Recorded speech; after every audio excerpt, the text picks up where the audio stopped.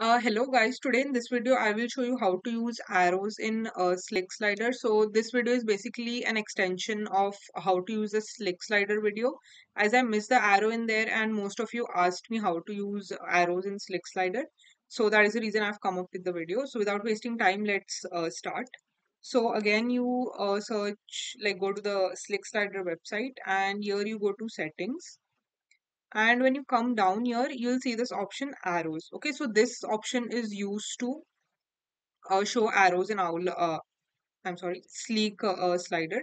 So here if you see then the default value is true. So right now if we go to the website like the slider that we have created and if we close these uh, divs and to not get confused let's remove the second uh, slider that we have here and we just refresh so that now we have only one slider here okay?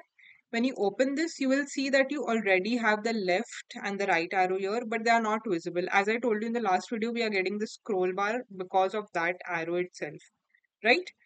So now to make that arrow visible what we will be doing is here we will see that uh, it is a type boolean. Boolean means means true or false right so it is true by default. So we don't need to define um, arrows again in the settings over here right? We don't need to add arrows. If you don't want that then you can say arrows false. And now if you refresh you'll see that the uh, scroller from the bottom also went away. And when you open this you just have one div inside that which means the arrows are gone right? But we want the arrows. So we don't define anything as by default it is true. Now the main question is how do we get those arrows over here right?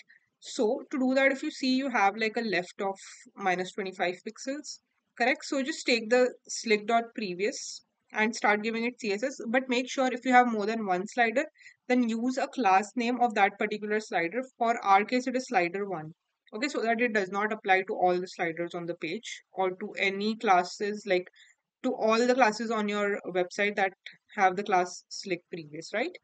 So let's give it a value of left 0 and let's give it a background color so that you can see what's happening.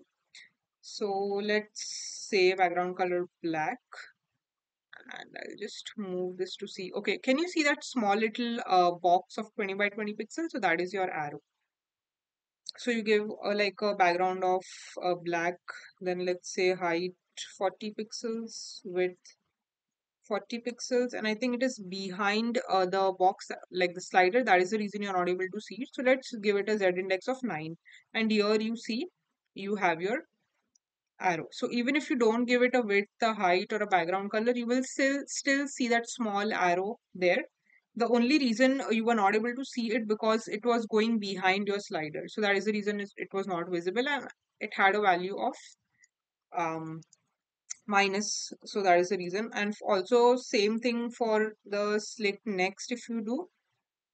Um okay so this is the class that's being applied. So give it a right of zero. And here you go your slide like your arrows are up here so i hope this video helped. This was just an extension to the how to use a slick slider um video. So if you don't know how to use slick slider then i'll just put the link uh, of that video in the description uh, box of this particular video. You can go watch that video. And this part was missing in that video. So this is just an extension. So you can come back and watch this video so i hope this answered the questions of everybody who were asking about the arrows in uh, slick.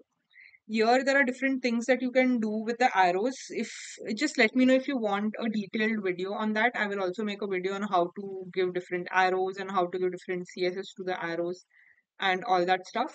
But for now the basic arrows are here and you can use it with some basic css so yeah that's all for the video. I hope this helped uh, please subscribe to my channel for videos similar to this and also, if you learned at least one thing from this small video, then please do not forget to press that like button.